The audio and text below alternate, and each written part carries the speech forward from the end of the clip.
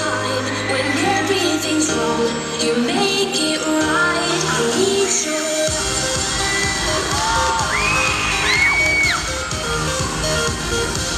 Let's get ridiculous.